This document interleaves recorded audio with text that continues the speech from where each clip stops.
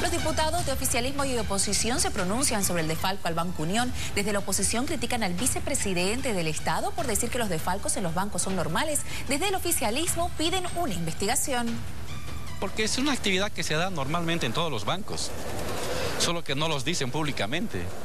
Solo se preocupan del Banco Unión porque es del Estado. Estas declaraciones del vicepresidente Álvaro García Linera sobre los desfalcos al Banco Unión han provocado críticas de parte de los parlamentarios de la oposición. Lo más preocupante son las declaraciones del presidente de la República, el vicepresidente, que dice que es normal, ¿ya?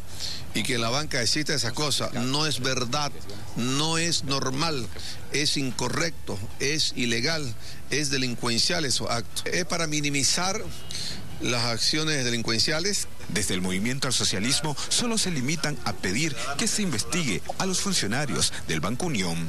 Detestar a los malos funcionarios y obviamente procesarlos por incumplimiento de deberes eh, muy aparte de los autores materiales e intelectuales. En los últimos días se conoció un tercer caso de desfalco a esta entidad financiera. El hecho habría ocurrido en una sucursal de Santa Cruz. Dos de los responsables ya se encuentran en el penal de Palmasola.